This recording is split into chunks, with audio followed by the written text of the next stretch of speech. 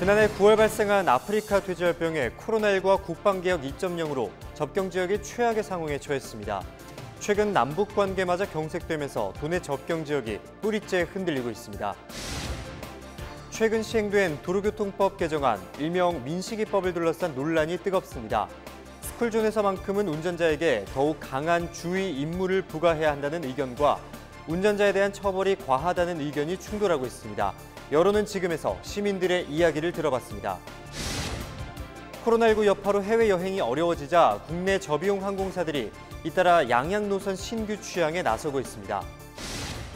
코로나19 여파로 미뤄졌던 등교 수업은 시작됐지만 학교 안전에 대한 불안감은 여전한 상황입니다. 이런 가운데 자연스럽게 생활 속 거리두기를 신청하고 일집도를 낮출 수 있을지 주목받고 있습니다.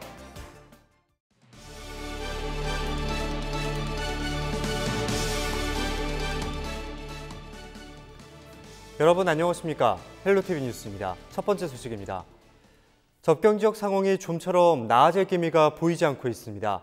지난해 9월 발생한 아프리카 돼지열병에 코로나19와 국방개혁 2.0으로 최악의 상황에 처했는데요. 최근 남북 관계마저 경색되면서 도내 접경 지역이 뿌리째 흔들리고 있습니다. 장진철 기자의 보도입니다. 철원 대표 관광지 중 한 곳인 고석정. 6월이면 안보 관광을 위해 매년 많은 사람들이 찾지만 요즘은 관광객들의 발길이 뚝 끊겼습니다. 지역 활성화되려면 또 안보 관광도 오고 그래야 뭐 장사도 되고 저거 그러는데 코로나 바람에 사람의 유동이 없으니까 뭐 경제 경제는 다 죽었다고 봐야 돼. 실제로 고석정 관광객은 지난해에 비해 40% 넘게 줄었습니다. 지난해 9월 아프리카 돼지열병이 확산되면서 민통선 일대 관광이 중단됐기 때문입니다.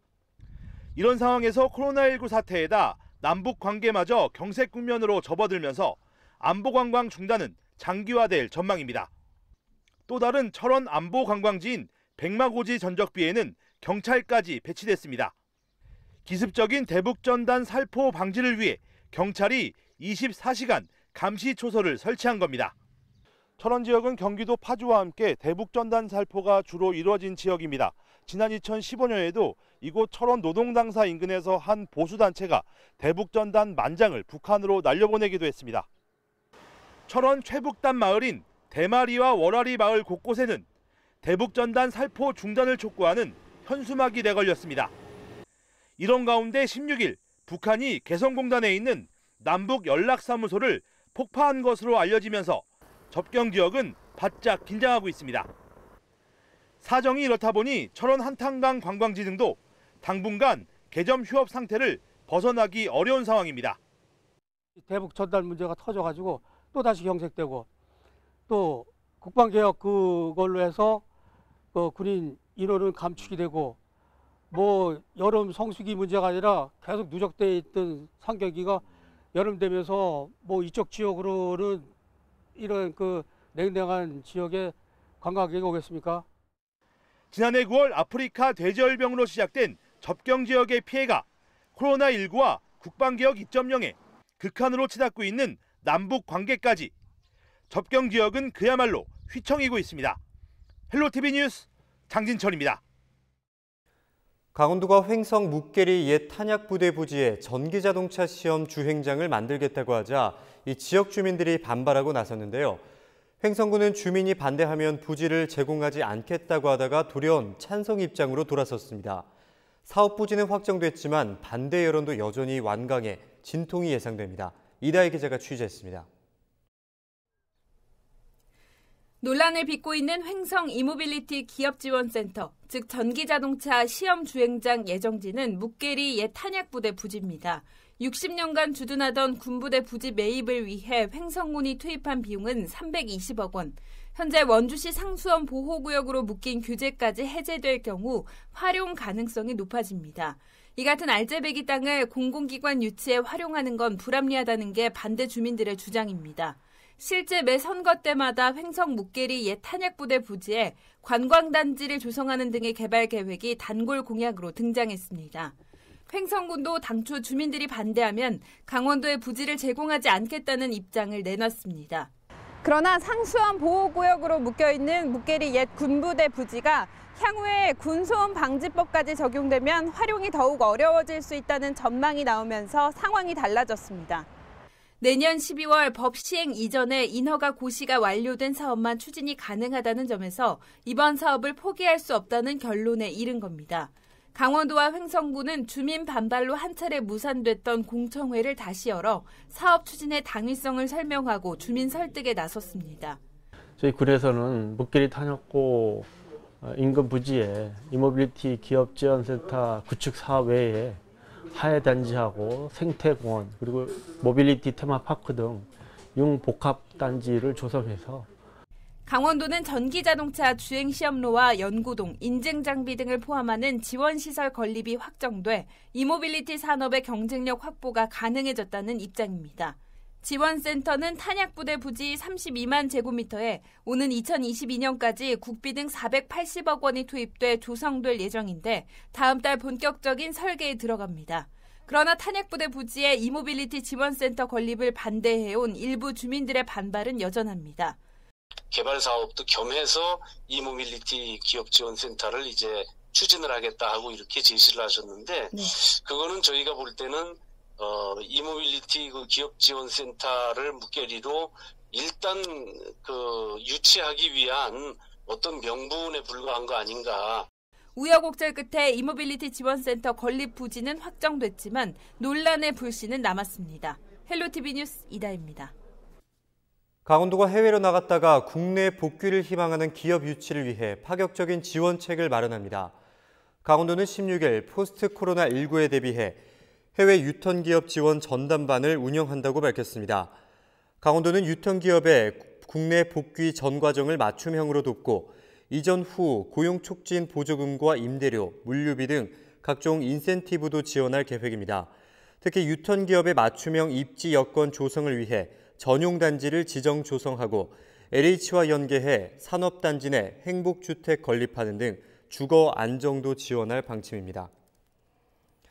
강원도와 강원 테크노파크는 코로나19에 따른 수출 악화로 어려움을 겪는 지역 기업을 위해 온라인 수출 상담회를 개최했습니다. 16일부터 4일간 춘천 스카이 컨벤션에서 열리는 상담회는 화장품과 의료기기, 식품 등 도내 34개 기업과 해외 핵심 바이어 67개사가 참여했습니다. 이들은 화상 상담을 통해 제품을 홍보하고 해외 마케팅의 돌파구를 모색했습니다. 강원도는 이 밖에도 비대면 마케팅 강화를 위해 상시 활용이 가능한 온라인 수출 상담 시스템과 지역별 수출 상담 기관을 지정해 운영할 계획입니다. 국립춘천병원과 춘천우체국이 16일 업무 협약을 체결하고 집배원의 정신건강 증진 사업을 추진하기로 했습니다. 국립춘천병원과 춘천우체국은 이번 협약을 통해 집배원을 대상으로 한 정신건강평가를 하고 고위험군을 조기에 발굴할 수 있도록 합니다. 또 개인 상담과 정신건강 교육 등 종합적인 정신건강 서비스로 직무 스트레스를 낮출 수 있도록 합니다.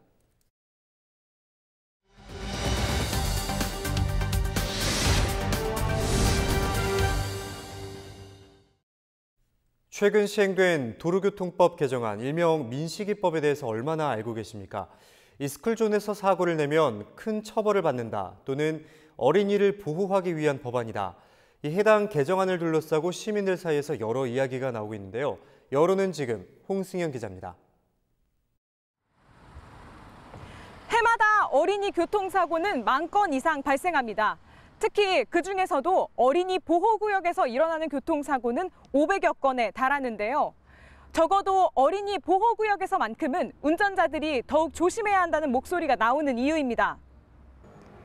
그렇게 시행된 도로교통법 개정안. 두 달이 지난 지금 시민들은 어떻게 생각하는지 이야기를 들어봤습니다. 민식이법이 무엇인지 어떻게 달라진 것인지 모르는 시민도 많았습니다. 민식이법 대해서 좀 들어보셨어요? 우리 몰라요. 민식 민식이법? 뭐, 민식이법이 그 저기 초등학교 그 앞에 사고 났을 때 그거 아닌가요? 그 어린이 보호구역에 30km 이하로 운행해야 된다는. 도로교통법 개정안 일명 민식이법은 크게 어린이 보호구역 안전시설 의무화와 상해 사고 처벌 강화를 주요 내용으로 합니다. 법 개정 이후 스쿨존에서 아이를 다치게 하면 1년 이상 15년 이하의 징역 또는 500만 원 이상 3천만 원 이하의 벌금형이 내려집니다. 특히 아이를 사망에 이르게 할 경우 무기 또는 3년 이상의 징역에 처하게 됩니다. 고의가 아니더라도 사고가 나면 성범죄에 준하는 수준의 처벌을 받을 수도 있는 겁니다. 처벌에 대해 설명한 뒤 들어본 시민들의 의견은 엇갈렸습니다. 일부 시민들은 아동보호라는 법의 취지를 살리기 위해서는 강한 형벌이 필요하다고 말했습니다. 왜냐면 좀 벌을 좀 주는 게 맞아. 막 가니까 사고 많이 나진 않게도 천천히 서행을 하면 사고가 덜 날 거 아니야. 그런 측면. 저 초등학교 아니라도 좀 사람이 좀 많이 다니는 데는 좀 서행을 했으면 좋겠어요. 그 뭐 초등학교뿐 아니라 중학교도 그렇고 고등학교도 그렇고 애들이 한참 몰려 나오고 이럴 때는 운전자들이 좀 더 조심해야 된다는 생각은 하죠.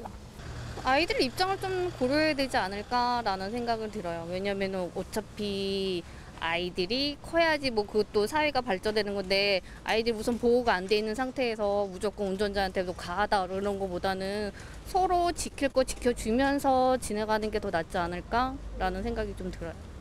스쿨존에서 아이가 다치는 일이 없도록 운전자에게 강한 주의 의무를 부과해야 한다는 취지 자체에 공감한다는 겁니다. 반면 법의 취지는 이해하지만 처벌이 과도하다는 주장도 나왔습니다. 학교 지나다니기가 사실상 힘들죠. 왜냐하면 서 있어도 넘어지면 차에 부딪히면 일단은 그 법이 적용이 되니까 어떻게 해야 될지 몰라갖고 보험들을 많이 갈아타거든요. 사실상 저희 입장에서는.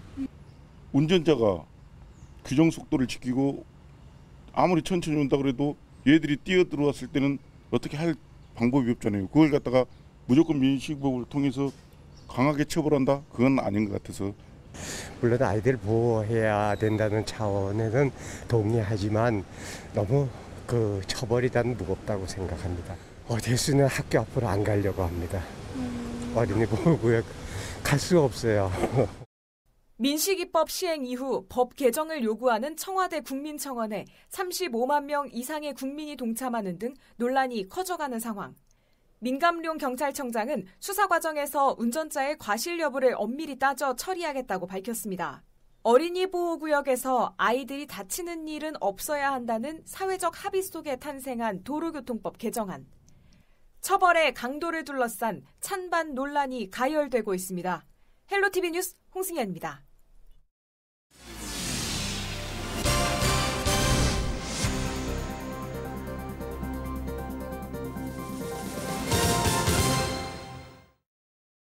코로나19 여파로 해외여행을 계획하셨다가 취소하신 분들이 많으실 텐데요.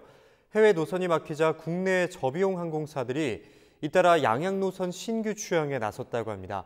올여름 양양국제공항이 효자 노선으로 자리 잡을 수 있을지 주목됩니다. 보도에 박건상 기자입니다. 대형 항공기가 활주로에 부드럽게 내려앉습니다.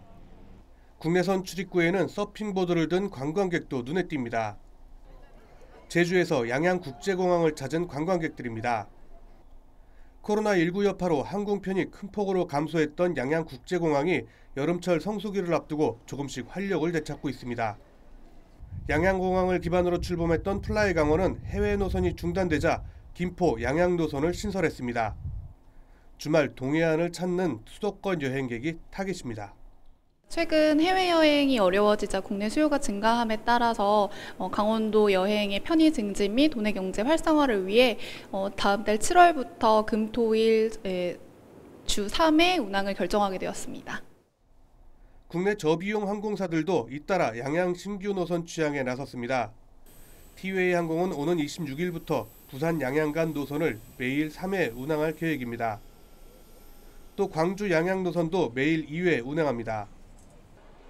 제주항공도 다음 달 17일부터 부산 양양 노선을 평일 1회, 주말 2회 운항할 예정입니다. 다수의 항공사들이 양양 노선에 신규 취항하지만 여름철 성수기에만 집중될 뿐입니다. 항공업계는 양양 노선의 지속적인 수요 창출이 어렵다고 분석하고 있기 때문입니다. 과거 대한항공과 제주항공이 김포 양양 노선에 취항했으나 수익 문제로 운항을 중단했습니다. 실제 지난 3월부터 5월까지 양양 제주 노선의 항공편은 모두 118편이 운항됐지만 전체 좌석 수 중 탑승객은 절반에도 미치지 못했습니다. 양양국제공항의 지속적인 노선 유지를 위해서는 다양한 관광객 유인책이 필요하다는 목소리가 높습니다. 예, 여름철에만 국한하지 말고 사계절 영업이 지속적으로 유지될 수 있도록 우선 컨택지를 확보하고 더 나아가서는 어, 교통 편의를 제공하는데 더 주력해야 될 것으로 보입니다. 강원도와 양양국제공항은 공항에서 양양 시외 버스 터미널까지 무료 셔틀버스를 운행하고 렌터카 업체 입점 방안도 검토하고 있습니다. 헬로티비 뉴스 박건상입니다.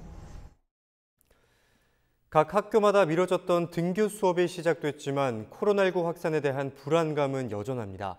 이런 가운데 농어촌 작은 학교가 주목을 받고 있다고 합니다.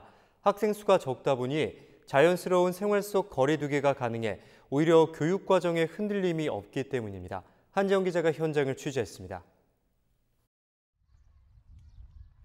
춘천 외곽의 한적한 마을에 위치한 초등학교. 전교생이 60명도 채 되지 않는 작은 학교입니다. 다양한 체험 활동과 특색 있는 교육 과정이 알려지면서 최근 전학생이 꾸준히 늘고 있습니다. 올해도 상반기에만 학생 6명이 도심에서 전학을 왔습니다. 친구들이 적으니까 쉽게 어울릴 수 있어서 좋고 아는 친구도 많이 생겨서 좋았어요. 좀 더 쉽게 봐주시는 것 같아서 좋았어요. 그때는 발표를 많이 하고 싶어도 많이 하지는 못했는데 지금은 많이 할 수 있는 것 같아요. 코로나19 사태 속에 단점이던 학생 수는 오히려 장점으로 바뀌어가고 있습니다. 도심의 큰 학교는 등교 수업 시작 후에도 학년별로 등교하는 날짜를 달리하면서 무늬만 등교라는 불만을 듣고 있습니다. 하지만 작은 학교는 자연스럽게 생활 속 거리두기가 이루어져 모두 매일 등교 수업이 가능하고 교육 과정에도 흔들림이 없습니다. 재난이 사실은 우리 일상으로 그냥 들어와 있는 상태거든요. 그러면 재난에서 우리가 그 학생들을 보호하고 그다음에 그 보호하되 재난 속에서 우리 교육이나 이런 것들이 절코 이제 뒤처져서는 안 되니까 우리가 늘 원했던 것이 뭐냐면 과밀 학급을 피하는 거지 않습니까? 근데 그게 이미 구현돼 있는 것이 작은 학교들입니다. 안전한 교육 과정으로 관심이 모아지자 강원도 교육청은 작은 학교 희망 만들기 사업을 확대하기로 했습니다. 특성화 교육과 통학 지원, 주소 이전 없이 전입할 수 있는 도농 간 공동 통학구역 확대 등을 추진합니다. 내실 있는 교육과정 운영 지원을 위해서 공동 교육과정 그리고 어, 특성화 교육과정을 위해 위해서 매년 지속적으로 운영비를 지원하고 있어요. 도심지에 있는 대규모 학교에서 작은 학교로의 전학이 가능할 수 있도록 지금 도심지 공동통합구역이라는 것들을 운영하고 있는데 그것들을 조금 더 확대. 경제 논리에 의해 통폐합 위기를 겪어온 작은 학교. 학생들의 수준과 흥미를 고려한 맞춤형 수업에다 방역 관리의 우수성 등이 더해지면서 새로운 대안으로 떠올랐습니다. 코로나19 사태로 거리두기가 생활화되면서 강원도 내 작은 학교들이 주목받고 있습니다. 헬로티비 뉴스 한지영입니다.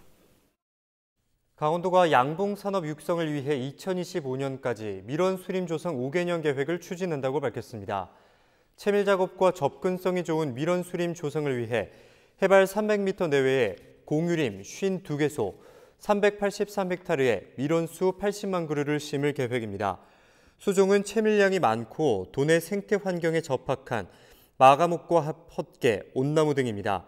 강원도는 매년 50헥타르 이상의 밀원 수림을 조성하면 2025년부터 안정적인 채밀이 가능할 것으로 보고 있습니다. 영월군이 오는 10월까지 동강 등 주요 하천 5곳에서 초등학생과 함께하는 수중 생태 모니터링 활동을 펼칩니다. 모니터링 활동에는 지역 내 초등학교에서 선발된 4학년에서 6학년 초등학생들이 참여합니다. 참가 학생들은 직접 물고기를 잡아 조사표를 작성하면서 하천 수질 상태와 수중 생태에 대한 이해를 높이게 됩니다. 이어서 날씨입니다.